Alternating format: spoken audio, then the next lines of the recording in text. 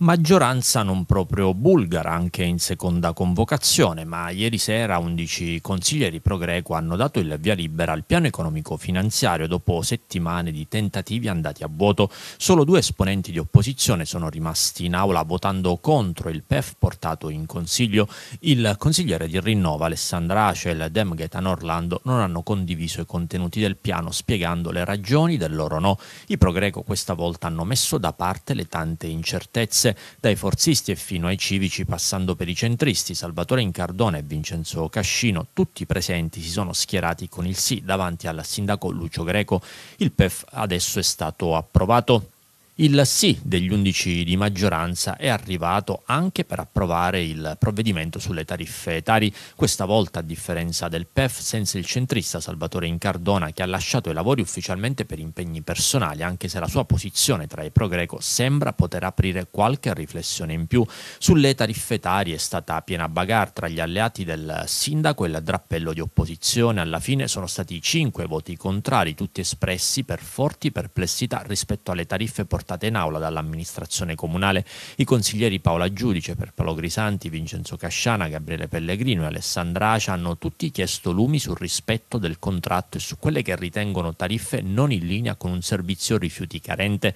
La diatriba si è subito aperta. Il capogruppo di un'altra gela, Giuseppe Morselli, non ha mancato di richiamare quella che fu la gestione rifiuti del PD quando era sindaco l'avvocato Angelo Fasulo per contestare la posizione del Dem Gaetan Orlando che a sua volta si è schierato dichiarato per il no alle tariffe etari. Nel corso del dibattito sono ritornati anche i costi in più legati ai servizi aggiuntivi. Orlando invece riferendosi alla situazione attuale ha indicato una città più sporca e tariffe aumentate, considerazioni respinte dalla maggioranza. Anche il consigliere comunale di impegno comune, Valeria Caci, ha richiamato il ruolo del PD contestando la linea espressa non solo dal consigliere Orlando ma anche dall'ex Dem, il consigliere Alessandra Acia. Ha fatto infatti riferimento ad un PEF arrivato in aula che si riferisce al periodo dell'ex assessore del Partito Democratico. Anche i forzisti hanno sostenuto sia il piano economico finanziario sia le tariffe. Il dirigente Alberto De Petro ha più volte posto l'accento sulla modifica della normativa in materia ha comunque indicato tariffe in linea con quelle degli anni precedenti.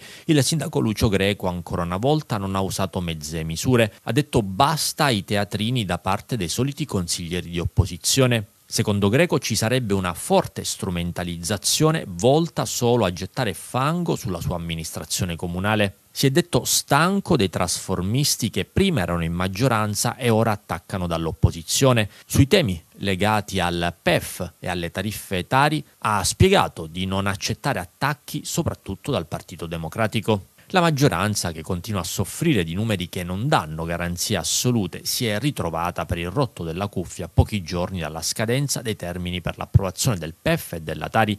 Gli undici hanno retto in aula anche se la verifica continua a sembrare quasi indispensabile ora con l'aggiunta dei tentennamenti del centrista in Cardona. La prossima prova del 9 si avrà con gli atti finanziari.